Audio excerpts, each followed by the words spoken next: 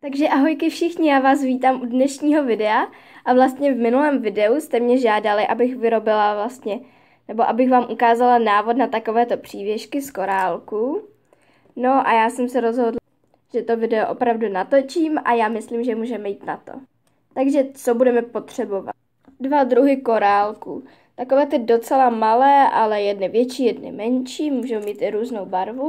Drátek, Tady tyhle uzávěry na přívěšky, které seženete třeba ve 100 klase, 10 kusů za 40 korun. A nůžky.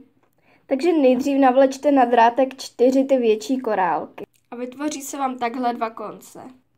Teď vlastně vezmete jeden ten konec a provlečte ho tím korálkem úplně nejdál od toho konce a utáhněte.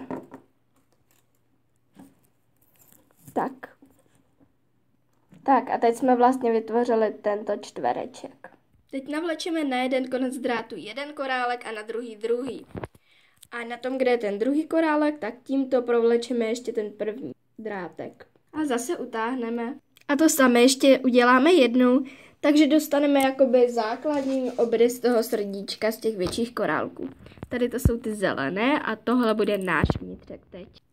No a teď už jen tím drátkem obkroužíme celé srdíčko a tam, kde je moc hranaté, přidáme menší korálky. Pomalu to vyplňuju menšími korálky. Se mi potřeba dát korálků nejvíc. No a takhle už vypadá hotové srdíčko. Teď jen tenhle drátek obmotáme okolo tohohle, pak ho ustřihneme a přiděláme závěs na přívěšek. No a já už jen doufám, že se vám video líbilo, že si takovéto srdíčka třeba taky někdy zkusíte vyrobit, protože nejsou vůbec složité.